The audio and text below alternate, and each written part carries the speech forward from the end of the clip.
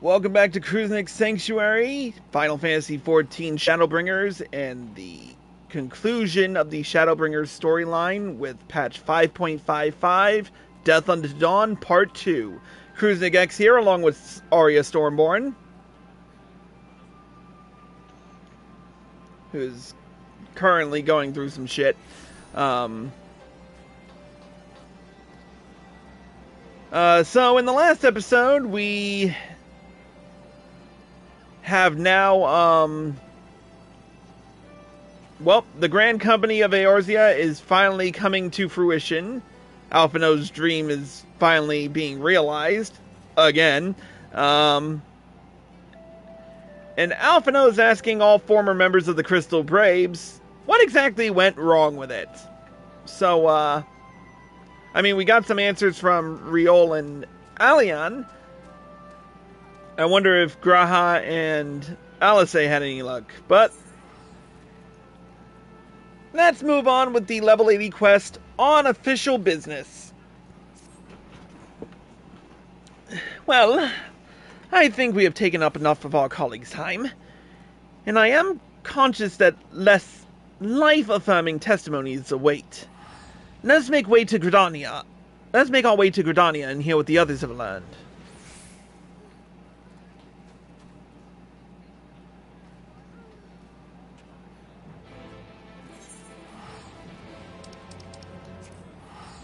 Alright.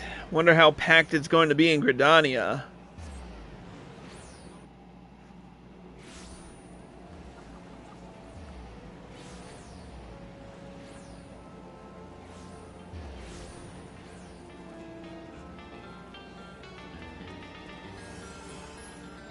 Wait, where the frick are we going?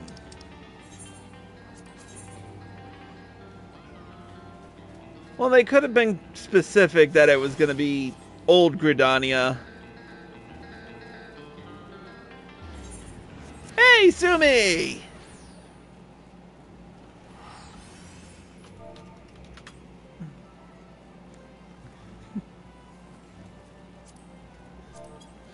Just fi figured I'd say hey in a spoiler tastic live stream.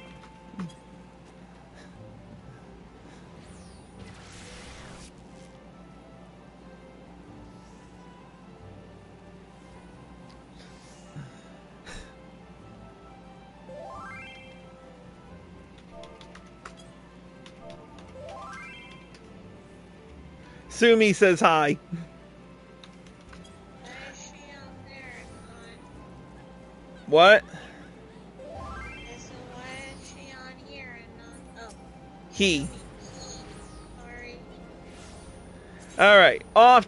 The Lancers Guild.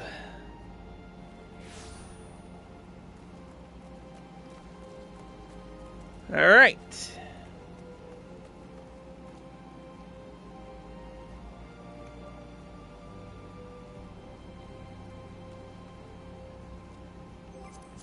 Did you take the Aethernet up? Oh, yep, there she goes.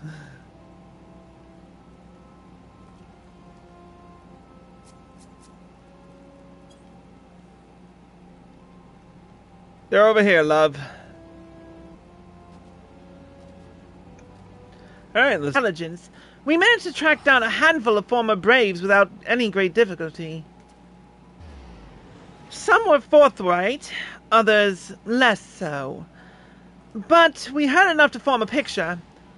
I must warn you, Alphinaud, some of their comments were... harsh. I can well imagine. But their opinions are no less vital to my report. I seek the unvarnished truth.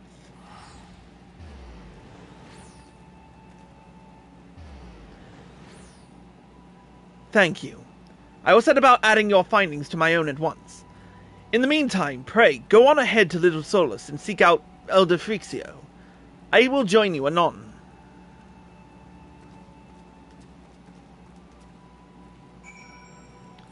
Alright, we're off to the Hawthorne Hut. Actually, you know what? Let's take the ferry. Let's take the ferry porter only because It's cheaper.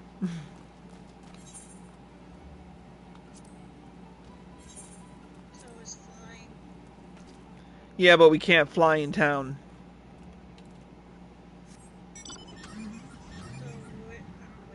Sweet Bloom Pier.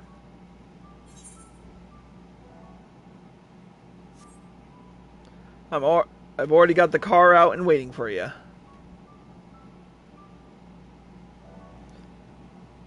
Oh yeah, they upgraded this. Like there is a lot more rumble now that like I can actually feel it now.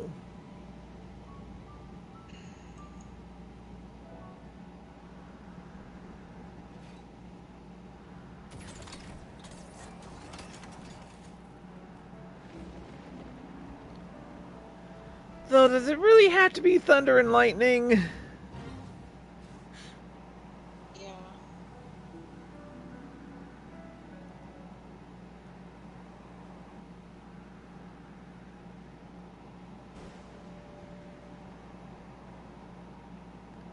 I am glad that we can fly in our own reborn areas now. Makes things a lot easier. Let's roll.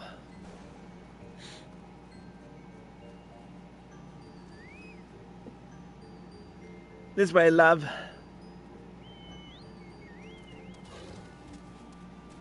Oh, can I don't think I need repairs, but I might as well make them anyway. Alright. Would you like to do the honors of being Elder Freaksio?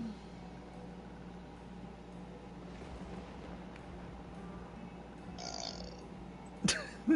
Ah, welcome, brave one. Friends of brave one. How good it is to see you walking once again so soon after the meeting. Should this one perform the customary dance of greeting? I got a bust of maggots.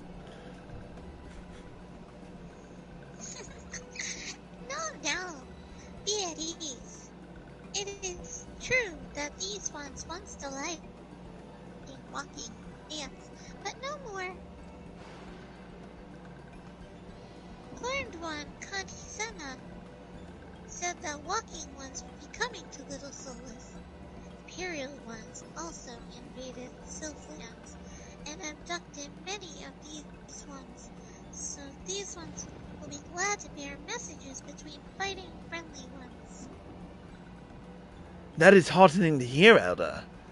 It will require all ones to work in unison to stop the Telophoroi. These ones will try very hard, of course, but in matters of war, these ones have little experience.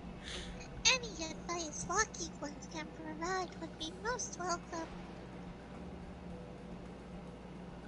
Oh, another pretty silver-haired one. And in quite a hurry, it seems.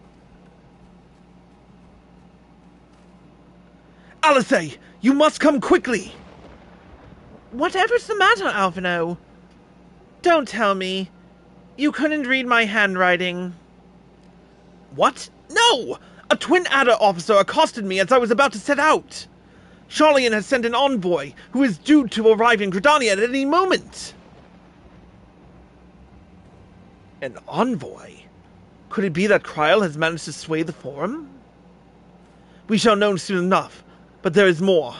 The envoy has requested that the two of us attend the audience with the Elder Seedseer. Really? I can see why they might want Scions to be present, but us specifically? Wait. It isn't who I think it is. It is. I could scarce believe it myself, but when I inquired as to the envoy's identity, I was told that it was one Fourchenault Leveilleur.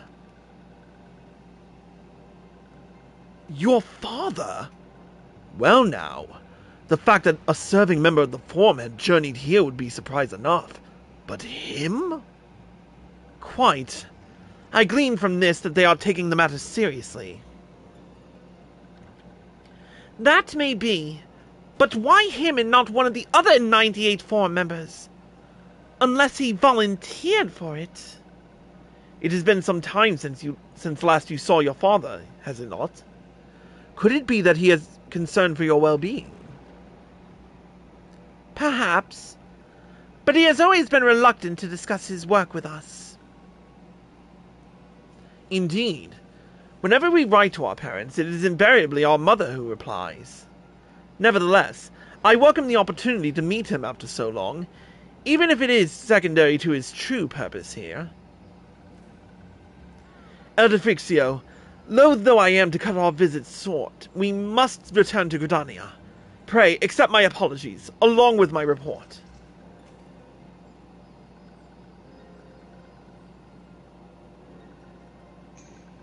Never mind.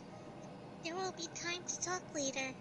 This one will keep walking once for more urgent matters. Go. The audience will be held at the Lotus Stand, where the Elder Seed Seer awaits even now. Let us be on our way.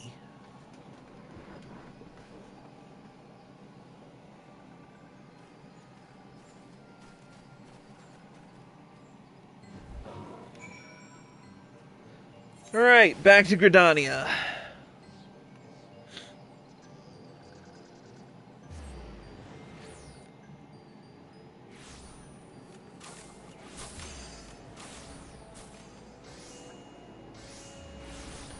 Alright, this time we're headed to the Conjurer's Guild.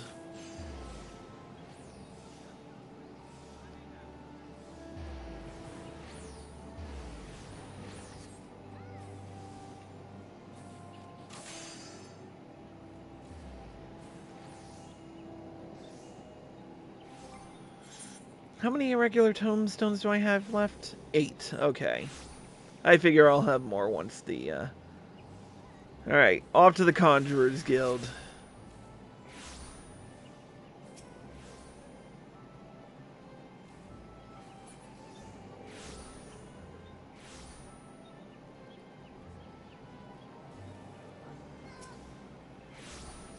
After you, mademoiselle.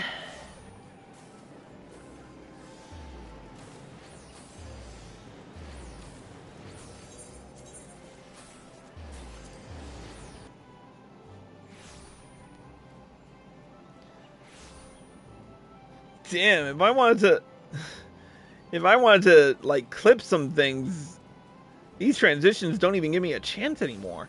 Anyway, Welcome, warrior of light. The Elder Seed Seer and your friends are waiting within.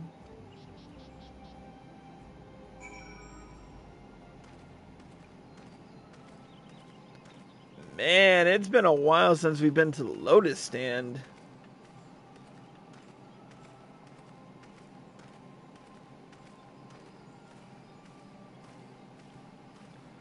Right, so where is this guy? My friends, I thank you all for coming so swiftly. Word of Master Fourchenault's visit took us quite by surprise. When the Alliance granted Mistress Krile permission to request Sharlayan's aid, we did not anticipate so prompt a reply, much less that it would be delivered by a member of the Forum. What the nature of that may- reply may be, we shall soon discover.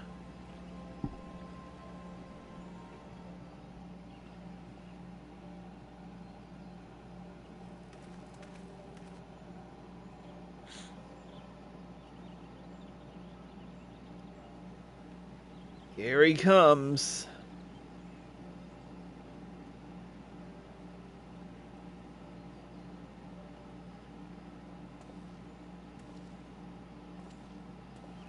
Elder Seedseer, I thank you for granting me this audience.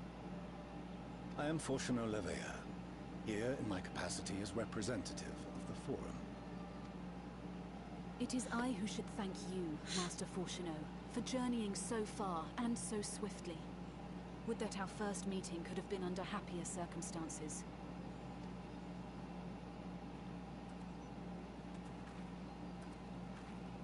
It has been too long, Father. You look well.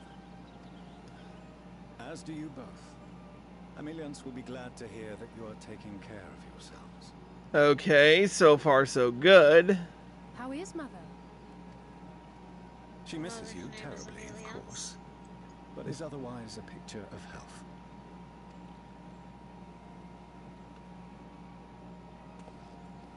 Circumstances apart, I'm grateful that our meeting has afforded me the chance to be reunited with my children at long last. And I believe I also owe you thanks for the hospitality you showed my father, Louisoix, during his sojourn in Eorzea. While I do. Okay, before we continue, while I do dig the outfit a little bit, I do without the top frill. Or whatever you're supposed to call that. Not not the ascot. The ascot I can deal with. It, it's the rest of it.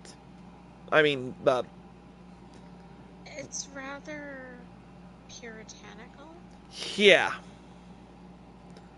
Like if they just did that, but in with like a more suit-ish feel to it,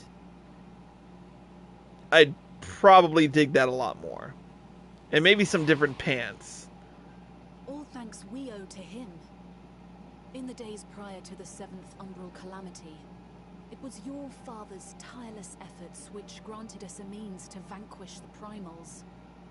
Were it not for him, our strength would have been quite spent by the time the Empire arrived. That Gridania still stands is in large part his achievement. He was a great man. Hmm. In more ways than one. He would doubtless have been moved to hear you say so. I must confess, however, that I opposed his decision to intervene.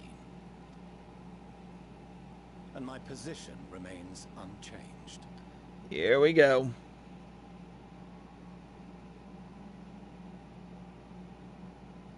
To chart the course of history, not to change it. I am familiar with the Sharlayan stance. Oh, I have a feeling Connie's pissed. more than that.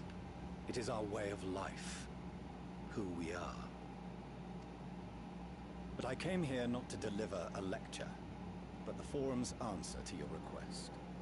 Sharlayan will under no circumstances intervene in the conflict between Eorzea and the Garlean Empire. Here we go. May I ask for what reason the Forum has come to this decision? The final days spell the end not only for Eorzea, but the entire world.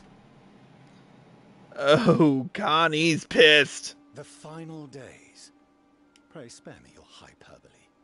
This conflict is no more than the latest in a series of petty squabbles between yourselves and Garlemald. One in which Sharlayan will take no part. If the final days were truly upon us, we would know. Would you? I doubt it. You must ask the Forum to reconsider. You may feel safe on your little island across the waves, but if you imagine that Telophoroi will leave you be, you are mistaken. They mean to kill us all, themselves included. Alphinaud is right. We have seen what the enemy is capable of, the lengths to which they'll go. This is no time to turn a blind eye. If Eorzea falls, so too will Sharlayan. So if you truly love our homeland, you will join us. Now, before it's too late.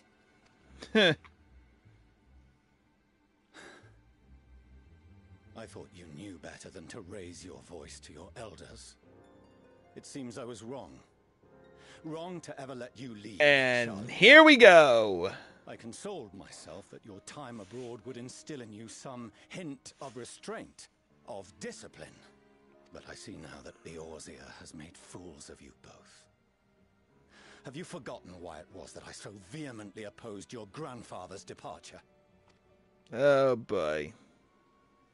For all his wisdom, his only solution was to go to war. Death. devastation, ruin.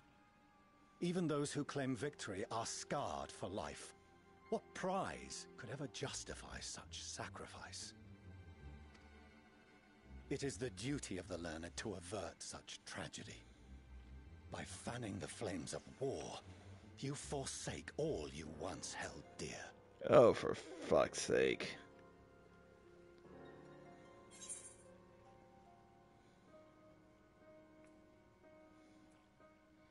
To ignore the plight of those who might one might conceivably save is not wisdom. It's indolence.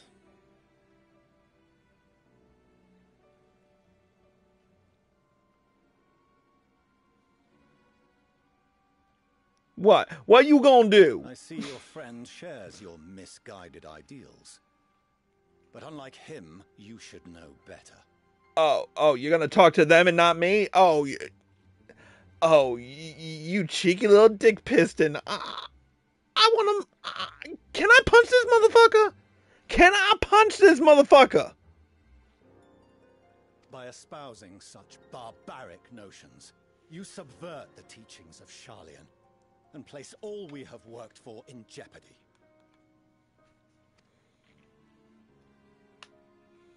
Alphinaud, Alisaie, as of this moment, you shall no longer bear the name of Leveilleur.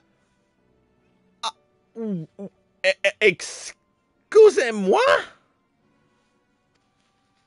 What? Father. How you choose to live your lives is no longer my concern. If you wish to walk the path of ruin, I will not stand in your way.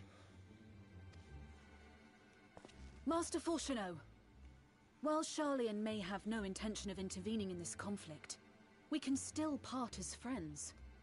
Will you not stay and speak with us, that we might learn of Sharlayan's hopes for the morrow? I don't want to talk to this motherfucker. I have said what I came here to say. Any further discussion would be meaningless.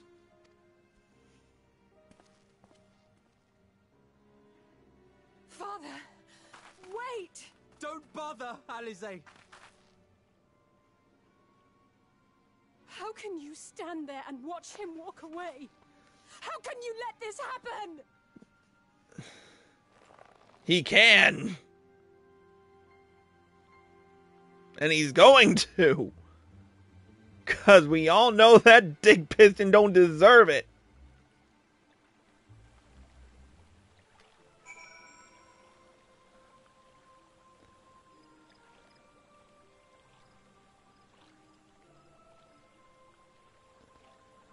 It's official. I don't like that motherfucker. At all.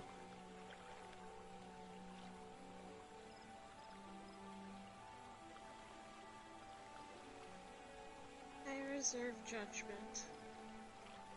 Reserve judgment all you want. It's going to take a hell of a lot for him to freaking redeem redeem himself in my eyes. Anyways, let's talk to Alisaie. I don't know why you're surprised. I'm not. This was this was the cut this was the cutscene that could have pr- could have endeared me to him. I set the bar insanely low. Let's just say that. Anyway. So that's what he came here to say? That we're all fools for having the temerity to defend ourselves against the Telophoroi? And as for the rest, like it or not, this was the Forum's decision. To watch from afar while Eorzea burns. Father was but the messenger. And as he handed down their judgment, I could think of nothing to say that could possibly sway him. I still can't.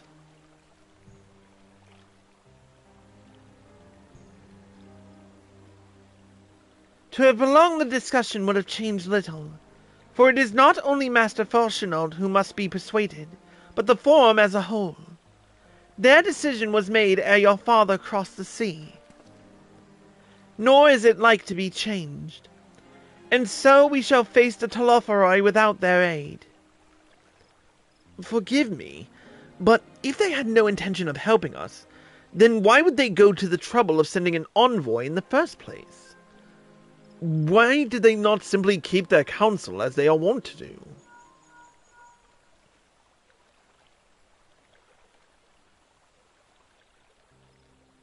Chris, has Master Fourchenault arrived yet? Yeah, we just talked to the dick. Then it is as I feared. My efforts were in vain. I pleaded our case to as many forum members as I could, but they flatly refused to discuss the matter. No, that's not exactly true. I should rather say that they ignored every word I said on the subject, without exception. It was almost unnerving. Could it be that they are hiding something from us? That might go some way to explain Master so- performance. When he said that they would know if the final days were truly upon us, they dismissed it as pride. I dismissed it as pride. But what if they genuinely believe that they now they know how the world will end and simply disagree with us about the circumstances? That I don't know. But something tells me they are not as unco- But something tells me they are not as unconcerned about the Telophoroi as they claim. If the threat weren't real, why else would they be so standoffish and, and secretive? I would very much like to delve deeper into this, but I'm afraid I've exhausted every avenue of inquiry. Nor have I fared any better with my other mission, researching Hydaelyn in the Aetherial Sea. I tried enlisting the help of experts in the field, but it appears the Forum has forbidden anyone from cooperating with us. Obstructed at every turn. So it would seem. But don't lose heart just yet. With all the knowledge and acquaintances we have between us, we can still find a way forward. To that end, I would like you all to join me here.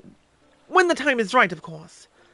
I am aware that matters in Eorzea stand on a knife edge, but with your permission, I can at least start making the necessary arrangements. I've always wanted to visit Sharlayan. And so you shall, albeit under less than happy circumstances. It may take a while to secure entry for you all, but I'll let you know when everything is in order. Look after yourselves in the meantime, won't you? Your speculations give me cause to hope. Yet if these seeds will bear fruit, I cannot say. While it is possible the Sharlayans hide some secret truth from us, there can be no certainty that it is that its exposure will prompt in them a change of heart. And so, for the present, we must needs confront the plight in which we find ourselves. The Forum has refused our request for aid, and it falls to us alone to contend with the Telophoroi. Even with all of Eorzea standing united, there is no guarantee that we will prevail. What does Sharlayan intend to do if we fail?